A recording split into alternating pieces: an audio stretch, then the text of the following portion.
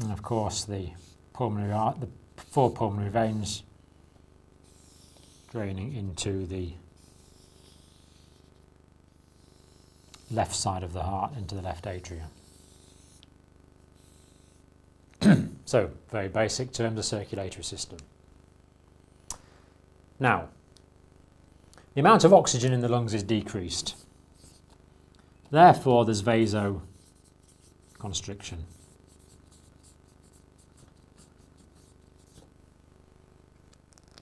Therefore, it's harder for the blood to get into the lungs. Therefore, the pressure here increases. Increased pressure in the pulmonary artery.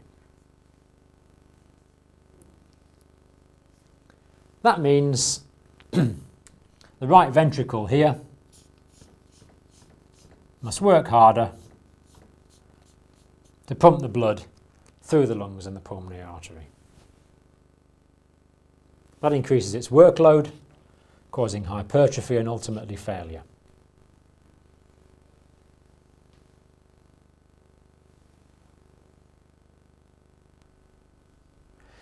When right ventricular failure becomes established, secondary to the hypertrophy, it means that when the ventricle is contracted, not all of the blood will have been able to eject it. There'll, there'll be a backlog because it's working inefficiently. And that, of course, means that the blood that would normally go in from the atria, there'll be a backlog there as well. That means there'll be a backlog in the, um, in the vena cava we're getting right, right heart failure causing this systemic vein congestion. There's of course all down back all the way and it means blood won't be able to drain from the body properly. That'll increase the pressure of the blood in the capillaries of the body and that will result in reduced fluid reabsorption and systemic edema. So cor pulmonale, right heart failure, secondary to lung disease being brought about by this mechanism.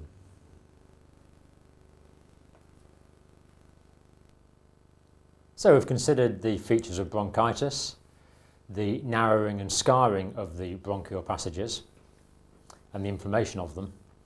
And we've considered cor pulmonale, which is heart failure secondary to chronic bronchitis and emphysema.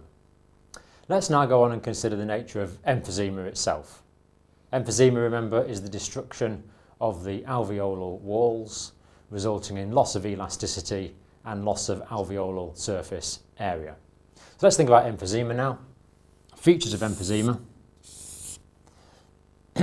As we've said, increased size of air spaces, distension and damage of the lung tissue itself.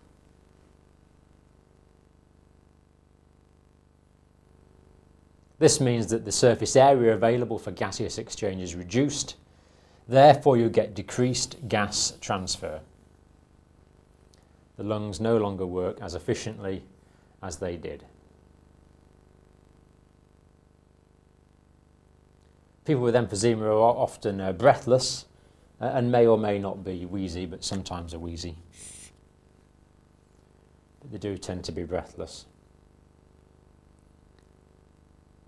and you get the loss of the elastic recoil of the lung. So again, it's making expiration harder because remember, expiration is normally in a passive elastic recoil process.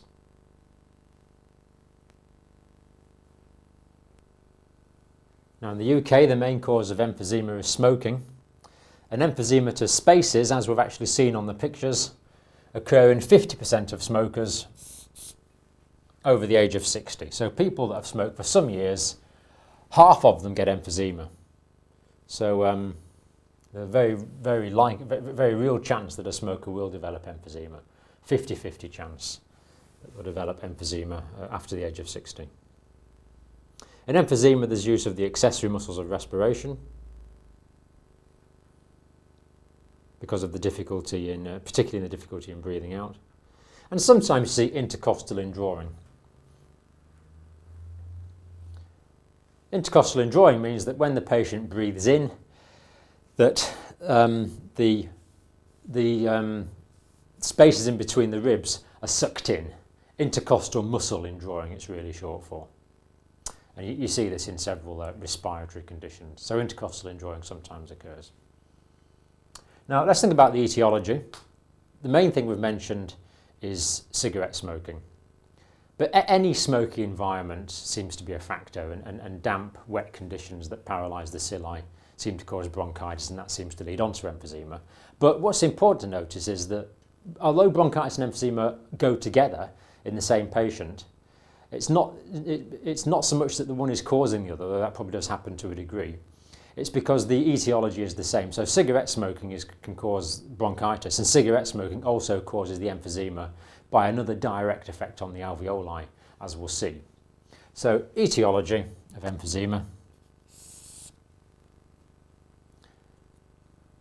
Epidemiologically, certainly cigarette smoking is well related uh, sorry, the, the incidence of emphysema is well related to the number of cigarettes smoked.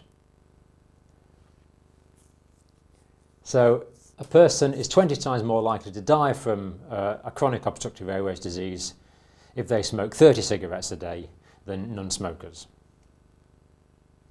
So if a person smokes 30 cigarettes a day or more, they are 20 times more likely to die from COAD than a non-smoker. This graph we're going to look at illustrates the uh, correlation between number of cigarettes smoked and deaths from chronic obstructive airways disease and we'll see there's a very good relationship. So I know this print's a bit small for you to see but it says deaths related to number of cigarettes and this axis here is the mortality uh, per 100,000 along the bottom axis here there's number of cigarettes smoked per day. So people that don't smoke any cigarettes there's three per 100,000 die uh, per year from chronic obstructive airways disease.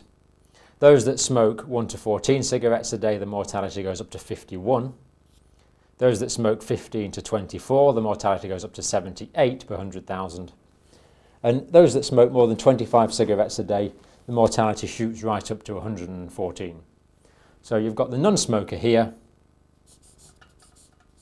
and you've got the heavy smoker here at 25 a day or more, and you can see the difference in the mortality figures between those two cases. And finally, uh, this, this, this column here is ex-smokers, uh, and their mortality drops to 44. So significant benefit in mortality if your patients stop smoking. But we see there's a definite correlation between the number of cigarettes smoked and the mortality from the chronic obstructive airways diseases. Now let's think about why, why smoking causes emphysema. Well, in the lungs of smokers, there's more granulocytic white blood cells. And um, I'm not quite sure what happens here, but I think what happens is the granulocytes secrete an enzyme called uh, elastase serine elastase. The A tells you, tells you it's an enzyme. And this is an enzyme which actually breaks down, which actually digests really elastic tissue. So the smoking increases the number, the smoking first of all increases the number of granulocytes. As I understand it, the granulocytes secrete serine elastase, which is an enzyme. And this enzyme is proteolytic and breaks down elastic tissue. So the granulocytes secrete the serine elastase. The serine elastase breaks down elastic tissue. And of course, um, because the lungs are elastic structures, it means that um, there's elastic tissue in the walls of the alveoli, and that's actually broken down so their destruction is, is a direct effect of the presence of the smoke mediated through the granulocytes and the serine elastase and the proteolysis of the elastic tissue.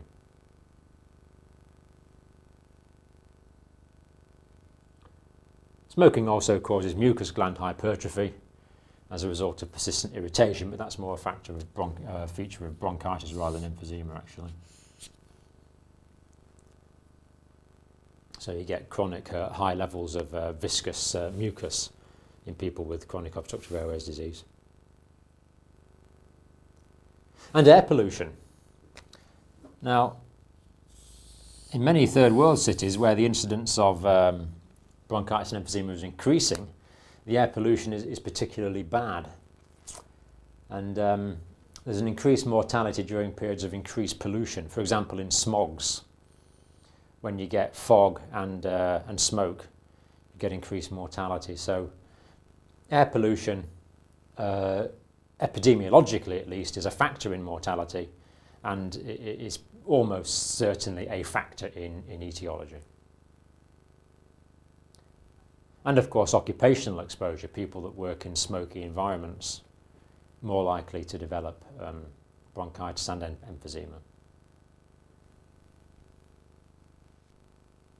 Now, briefly, other factors that might be involved.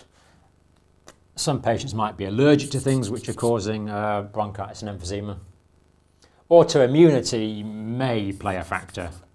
If a person develops antibodies to the, any tissue in the alveoli, that could cause destruction of the alveoli and emphysema. And of course, as with all diseases, almost certainly, although we don't know a specific gene as yet, that there probably is genetic predispositions.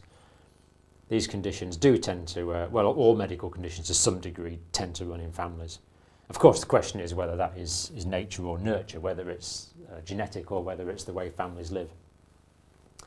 And the condition becomes more common with aging because the older you are, the more opportunity you've had to, um, to inhale uh, smoke and other, other pollutants.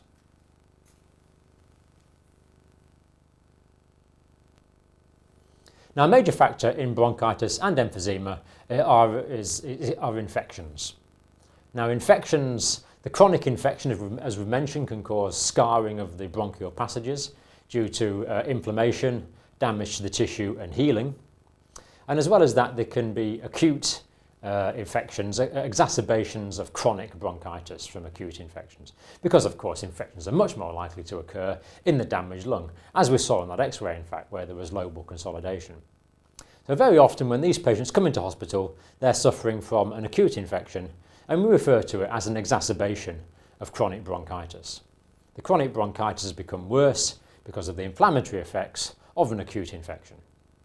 And this, the, the, these infections we can treat often fairly readily with antibiotics, and the patient's condition can improve quite markedly, often, often fairly quickly, with uh, antibiotics and other nursing measures that we'll look at later on.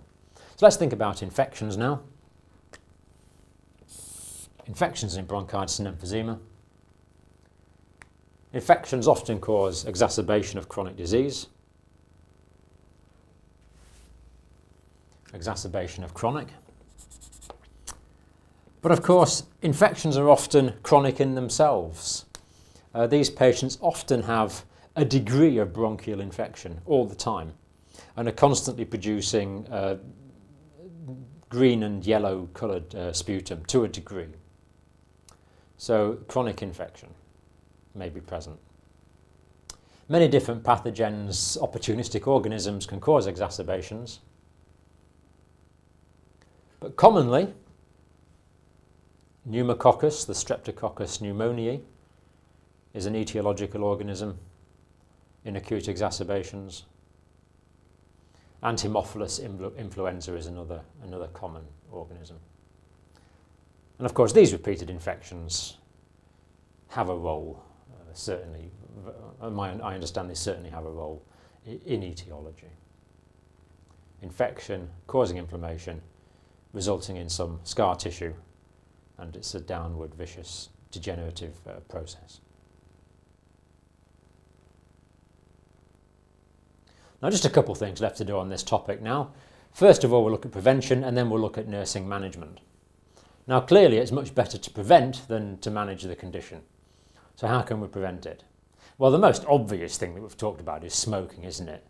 Don't smoke and avoid smoky environments. So identify in a particular patient what the main etiological factor is and then try and avoid that factor. Now, if, some, if it's a smoky environment that's the problem, it's often quite difficult. As we said before, particularly people in uh, poor areas who have to have wood fires to cook on it's very difficult to try and avoid the smoke because it's sometimes cold outside and you, or you can't go outside. But where possible, when you're cooking on open wood fires, uh, cook outside. Especially for children, try and keep the children away from the smoke as much as you can. And of course, don't smoke cigarettes. Uh, I think they're the main, the main, the main avoid, avoidance advices. But let's go through it on the notes and think about it logically. Prevention of bronchitis. So identify and avoid respiratory irritants, whatever they might be. A bit like in asthma, really. You know, if you're allergic to hamsters, don't keep hamsters. If you're allergic to horses, don't go horse riding. So identify and avoid respiratory irritants. And I've said bronchitis is a smoker's disease. It, it's not entirely true, but it's largely true. Dust, smoke, of course infections, uh, recognise an early treatment of infections. And occupational exposure may even mean that some people unfortunately have to think about a change of, of occupation. Avoid going out in cold, foggy weather. Um, cold weather tends to paralyse the cilia, so they can't waft up the uh, mucus anymore and infection becomes more likely, therefore bronchitis, therefore scarring. Foggy weather, the damp coldness seems to be a factor. Um, I don't know what it is, whether again it's an effect on the cilia or whether it inflames the uh, mucous membranes of the respiratory tract directly, or whether it's the fact that bacteria uh, can be inhaled uh, adherent to uh, foggy uh, water particles. Avoid infected uh, people that an infection may be caught from and avoid crowds in the influenza season. And this is a fairly uh, major factor, in fact. Uh, we, we, said before that chest infections often occur after viral infections. And exacerbations of chest infections, uh, of chronic bronchitis and emphysema, often occur after uh, viral infections.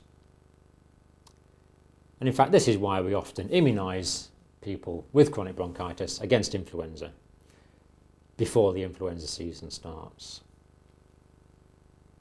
If we can avoid an attack of influenza, a respiratory virus, then hopefully we can avoid an exacerbation of chronic bronchitis with secondary bacterial infection.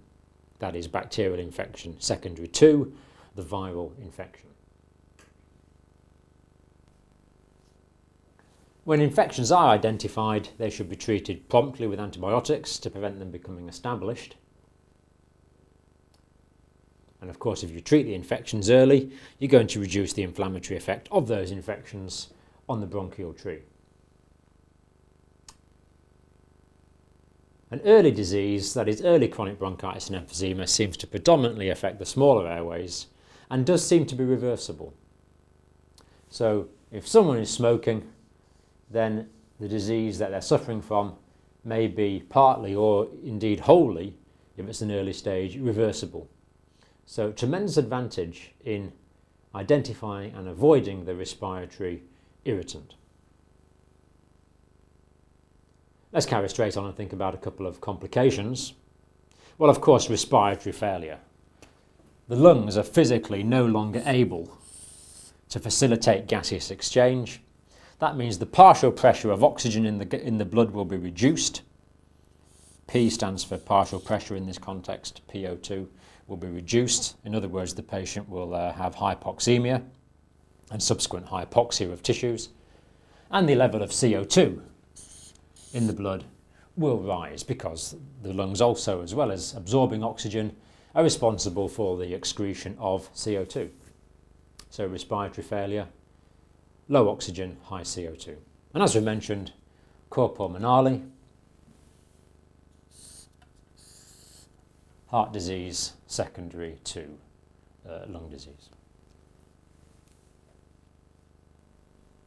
We'll just run through this briefly as we've already done it. Pulmonary hypertension, cor pulmonale. Hypoxemia leads to pulmonary artery, arterial vasoconstriction. That increases the pressure in the pulmonary artery. That means the right ventricle has to work harder. Therefore, right ventricular hypertrophy occurs. Right ventricular hypertrophy will lead to right ventricular failure. And that will dam back, as we saw before, causing systemic edema. The pressure on the right side of the heart can mean that tricuspid incompetence may develop. and this, uh, this will cause raised jugular venous pressure and may cause a, ascites, um, collection of fluid in the abdomen.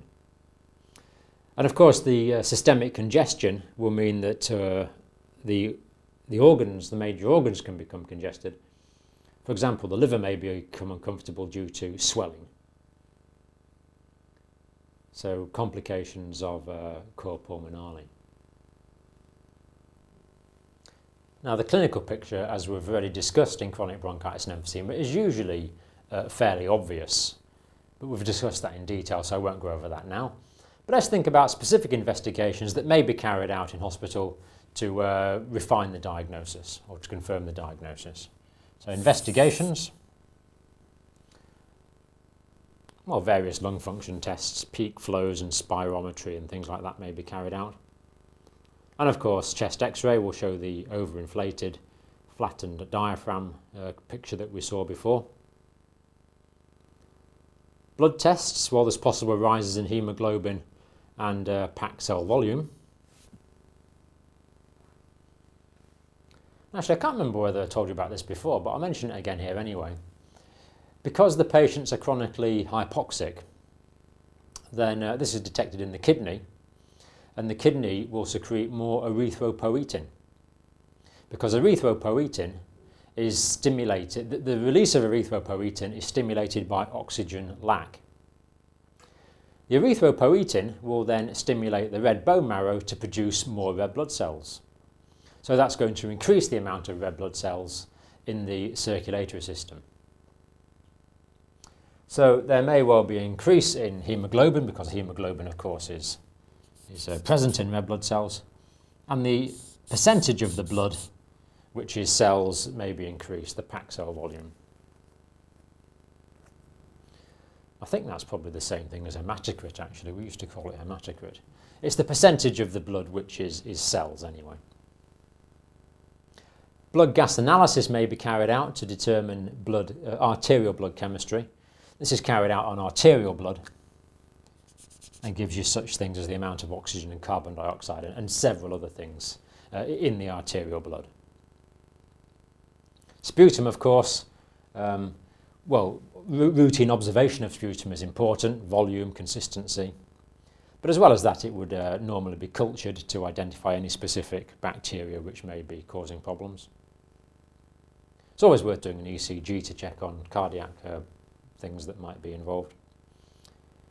Um, for example, the cor pulmonale or, or, or coexisting coronary heart disease or something. But you should see, I think you should see um, the, the, the, right ventricular hypertrophy on the, on the ECG. And uh, alpha 1, that should be an alpha there. Alpha 1 antitrypsin disorder. Not going to talk about that now. Uh, it's genetic and it can be a possible cause of emphysema.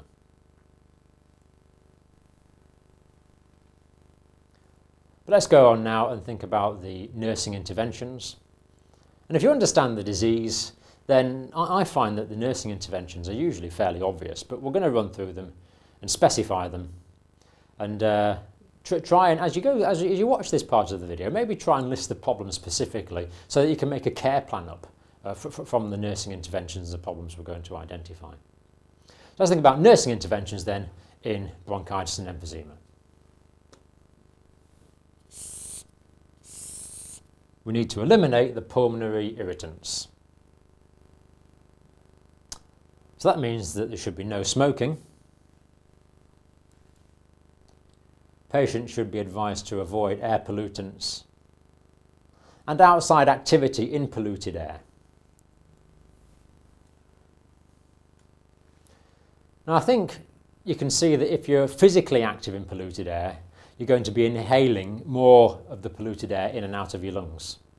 So if someone does have to be in an environment where the air is polluted, they shouldn't be exercising as well, because if they're exercising, they'll be hyperventilating on the polluted air and increasing the amount of pollutants that are inhaled into their lungs. So avoid exercise, well, avoid polluted air uh, if you can entirely, but certainly avoid uh, exercise in polluted air to minimise the amount of pollutants inhaled. So avoid air pollutants and outside activity in polluted air. House dust may be a factor. This is more for asthma, but um, might be worth thinking about house dust. And use of home humidification can prevent secretions drying up, therefore aid the, the expectoration.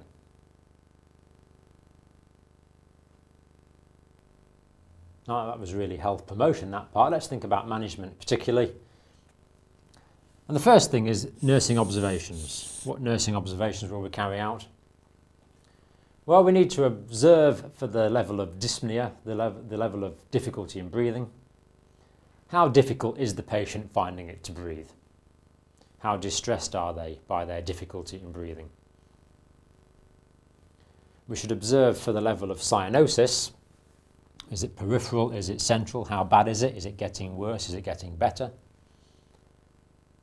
And the mental state may be a guide to the level of hypoxemia because it might be a guide to the level of cerebral hypoxia. So if the patient's confused and disorientated, very bad sign because it might mean that the brain is becoming hypoxic. We need to observe temperature because that's going to tell us whether there's an acute uh, infection present. Pulse is an important indicator anyway and of course uh, respiratory rate is, is, is clearly what the nature of the condition is about. So regular TPR observation as with any ill patient. And regular weight.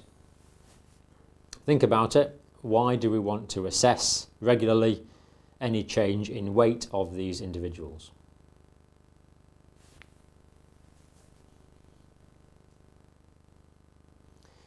Well, if there's cor pulmonale and right-sided heart failure, secondary to bronchitis, then systemic edema will de be developing and that means that the person will be retaining more fluid. And of course, a litre of water weighs a kilogram. So if the patient's putting on weight, it may mean they are acutely retaining fluid, which is a, a fairly dangerous, uh, potentially dangerous situation which can possibly be treated with diuretics and, uh, and other things like that, as, as well as hopefully treating the, uh, the cause of the, the, the fluid retention. So daily weight, another, or regular weight anyway, another important nursing observation. Now the next part, of, well, I put treat blood gas abnormality, it's a bit of a complicated way to put it really. It really means um, do something about the fact that the patient is hypoxic. Try and restore the amount of oxygen in the blood. So hypoxemia can be treated with low concentrations of oxygen. This should be humidified oxygen to keep the secretions moist because remember dry oxygen will dry up the secretions.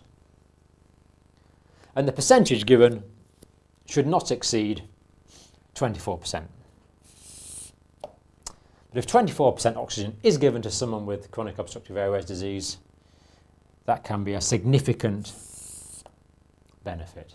It can help them a lot. And there's a couple of important, couple of important points to make here. Now, the air that we're breathing in from the atmosphere contains about 20% oxygen.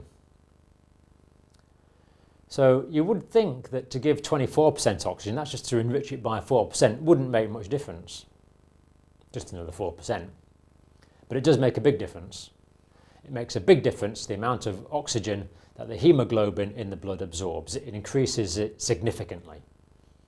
The reason is that it's because the hemoglobin curve at those oxygen concentrations is very steep. Don't worry if you don't understand that.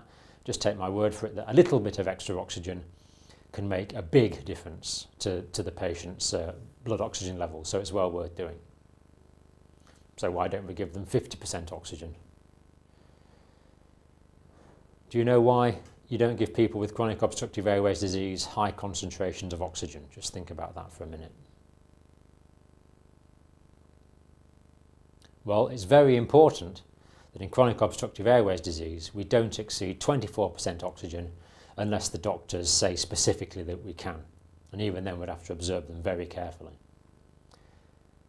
And the reason is that if you don't have lung disease, in you and me, hopefully, if we're healthy, then the reason that we're breathing is not because the amount of oxygen in our blood falls. What stimulates our respiration is because the amount of carbon dioxide in our blood rises. So it's high levels of CO2 that stimulate respiration rather than lack of oxygen. However, in people with chronic obstructive airways disease, particularly uh, patients with predominant bronchitic type disease, they can't exhale the carbon dioxide from the lungs and it collects in the lungs. So you get a collection of carbon dioxide in the lungs because they can't exhale it properly. That means the level of carbon dioxide in the blood increases. And the respiratory centre in the medulla oblongata of the brain, in the brain stem, gets used to having a high level of carbon dioxide. And this high level of carbon dioxide actually overwhelms the normal uh, hypercapnic, the normal high carbon dioxide respiratory drive mechanism. So that no longer works. So in other words, people with chronic obstructive airways disease, particularly the bronchitis type, don't breathe like you and me from carbon dioxide excess. That mechanism, that mechanism has been overwhelmed by chronically high levels of carbon dioxide. So the CO2 excess stimulating mechanism no longer works. So wh why do these people breathe? Well, the reason is that we have a backup system. And that backup system stimulates respiration by oxygen lack. By oxygen lack. So the reason someone with chronic obstructive airways disease is breathing is not like you and me because the levels of carbon dioxide are high, it's because the, the levels of oxygen in their blood uh, are low. So that's what's stimulating their breathing. So if you give a wee bit more oxygen, like 24% oxygen, that's okay, that won't increase it too much. It'll, it'll help them a lot, but it won't increase it that dramatically. But if you give high concentrations of oxygen, then there's going to be a lot of oxygen in their blood, and what is it that makes these patients breathe? What did I say?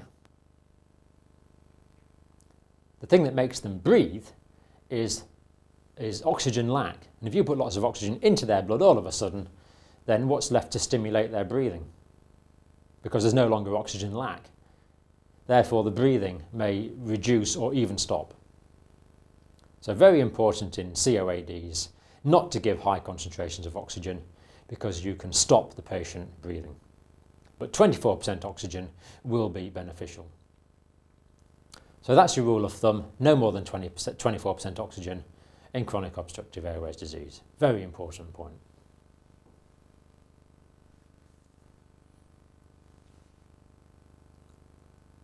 We want to avoid narcotics and sedatives, especially the opiates, because these can uh, reduce, uh, depress the respiratory centre. And we want to nurse them sitting up because lung inflation is easier when you're sitting up than when you're lying down.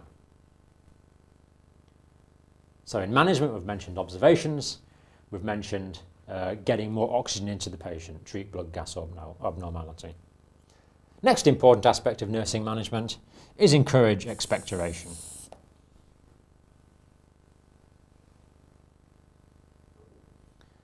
Now these patients have excessive mucus production and that mucus is often infected. So I think you can see if they didn't cough it up, if they didn't expectorate, it's going to clog, it's going to collect down in the lungs, it's going to be too much of it, it's going to start blocking off airways. Um, and, and, it, and, it's, and if it's static, the infection is not going to be cleared. So we need to clear it, to clear the infection, to cough the infections out and to keep the lungs clear from all this excessive mucus production.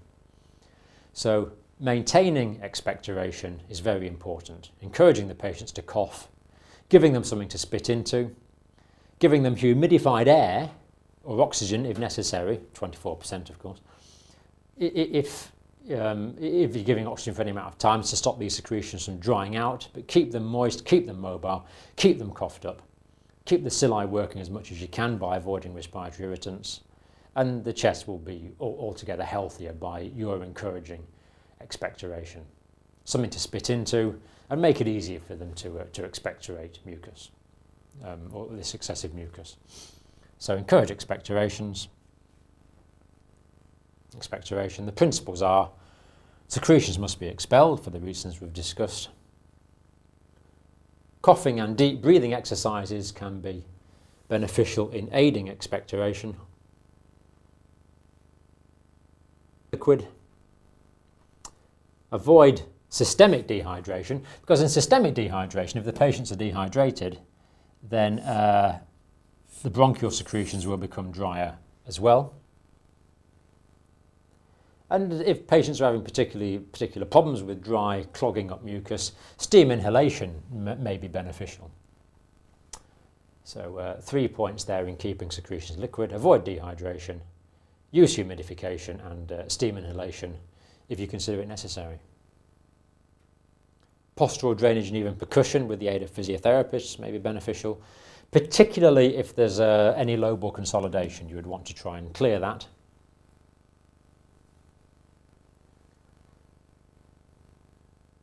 So if a patient, for example, had some uh, right lobar consolidation, you would lie them on the left-hand side, so that allows the lung to drain downhill because they're now on the, on the side.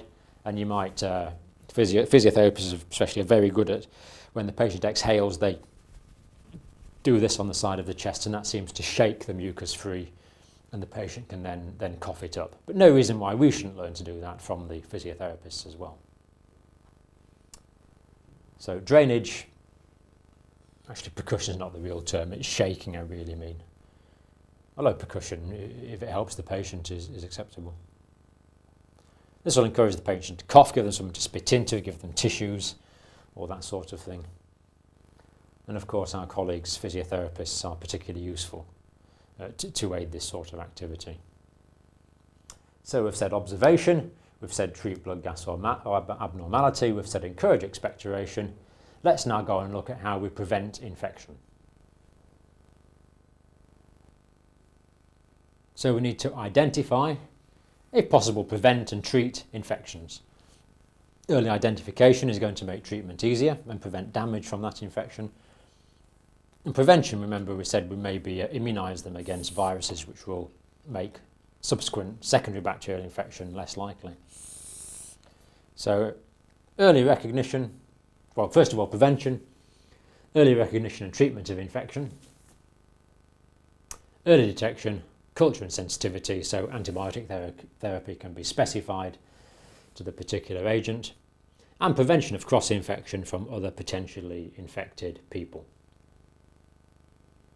So in nursing management, we've mentioned observation, we've mentioned treat blood gas, or uh, blood gas abnormality, we've mentioned encourage expectoration, We've discussed prevent, treat infection. Let's think about some general measures now.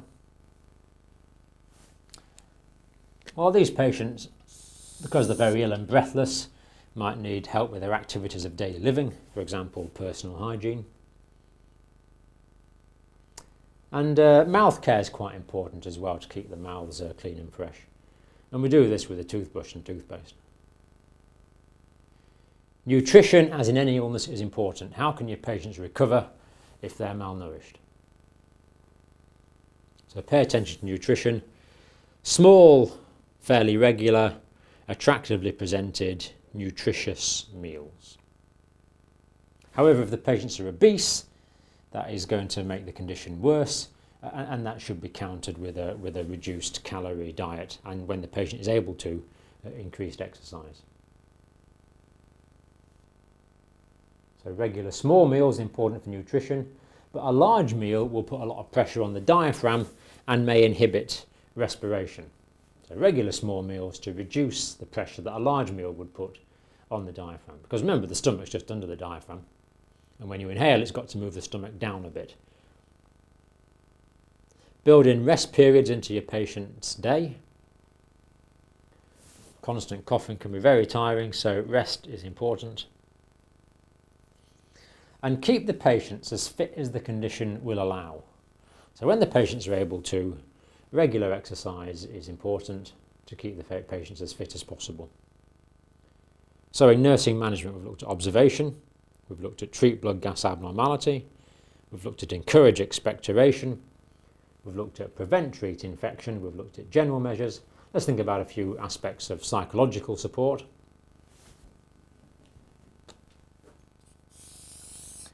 Breathlessness, remember, is very frightening. If the patient feels they're suffocating and can't breathe, it's very frightening, and panic attacks even are, are possible. So remember, your patients can be very anxious if they feel they can't breathe properly. In established disease, patients often need to come to terms with the chronic nature of the disease. Now, certainly we can optimise the disease, in some patients it's not going to go away and they need to come to terms with that uh, to try and live with it. That's a, a psychological adjustment, really.